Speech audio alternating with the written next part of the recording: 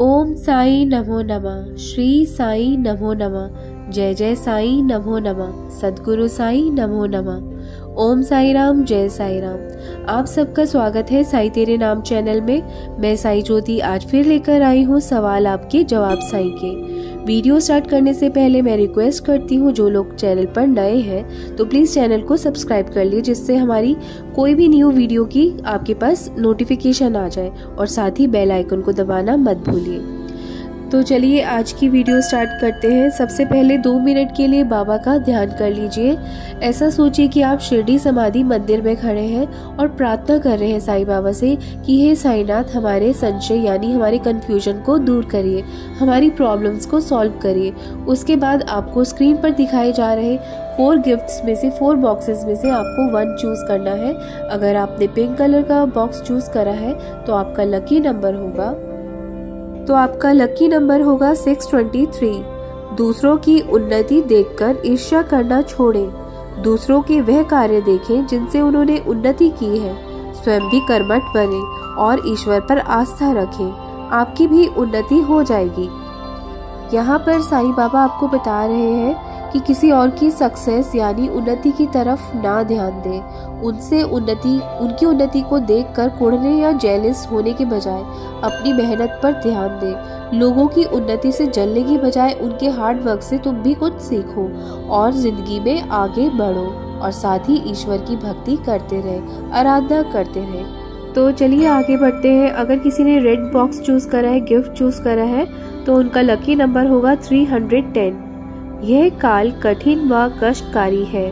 पार उतरना हो तो श्री साई की शरण की नौका अपनी श्रद्धा और विश्वास के चपुओं से चलाएँ।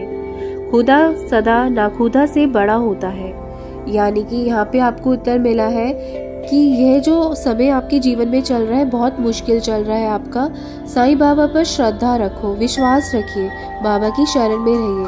वो ये बुरा वक्त भी पार करवा देंगे। उन पर पूर्ण रूप से श्रद्धा रखें, क्योंकि ईश्वर से बड़ा कोई नहीं होता है।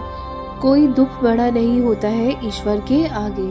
तो चलिए आगे बढ़ते हैं। अगर किसी ने सी ग्रीन कलर का गिफ्ट चूज़ करा है तो उनका लकी नंबर होगा। तो उनका लकी नंबर है, उनका लकी नंबर है 549 अच्छा समय हो या बुरा, श्री साई का चिंतन ना छोड़े। समय कभी एक सा नहीं रहता, अतः धैर्य रखें। ना तो बहुत शौक ठीक होता है, ना बहुत हर्ष। दोनों स्थितियों में जो सम रह सकता है, वही ज्ञानी व संयमी महान आनंद उठाता है।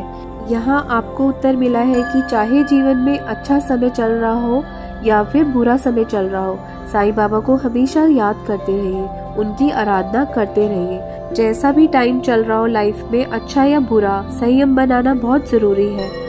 संयम रखना बहुत ज़रूरी है, क्योंकि समय एक समान नहीं रहता है।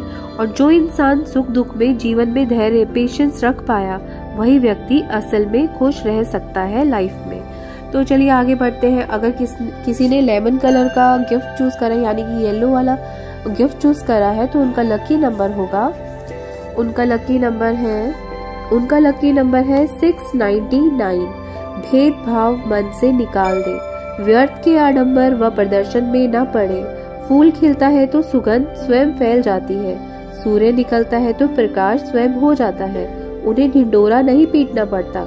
जब गुण आ जाते हैं तो प्रभाव स्वयं फैलने लगता है। यहाँ पर साईं बाबा आपको समझा रहे हैं कि कि मन को किसी भी तरह के भेदभाव यानी कि डिफरेंसेस को मन से निकाल दीजिए।